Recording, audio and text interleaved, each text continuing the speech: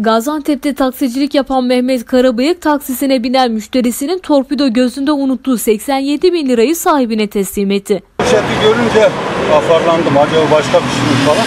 Baktım parası. Parayı alıp sahibine götürdüm. Urfa'da Karaköprü civarında sahibine teslim ettim. Parayı teslim edebilmek için 100 kilometreden fazla mesafe kat eden taksicinin bu hareketi büyük takdir topladı. Takside unuttuğu parasına kavuşan vatandaş büyük mutluluk yaşarken parasını kendisine eksiksiz getiren taksici Karabıyık'ı 600 lirayla ödüllendirdi. Aşağı yukarı 25 sene yakındır. Ben e, arkadaşları yolda aldım. Taksi durağından almadım. Yoldan aldım. Urfa istikametine gidecekler Urfa'ya. Aldım Urfa'ya bıraktım. Dönüşte Suruç'a uğradım. Petroldan gaz alırken orada e, evraklarımın olup olmadığına baktım.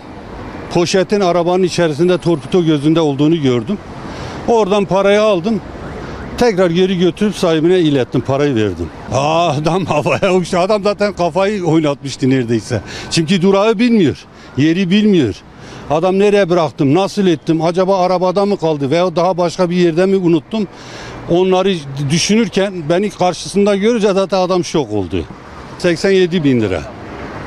600 lira para vermişti. O paradan hayır gelmez. O parayı yiyemezler. Her gün huzursuz olurlar. Benim o 600 liram onun o 87'sinden çok çok daha iyi benim için oldu.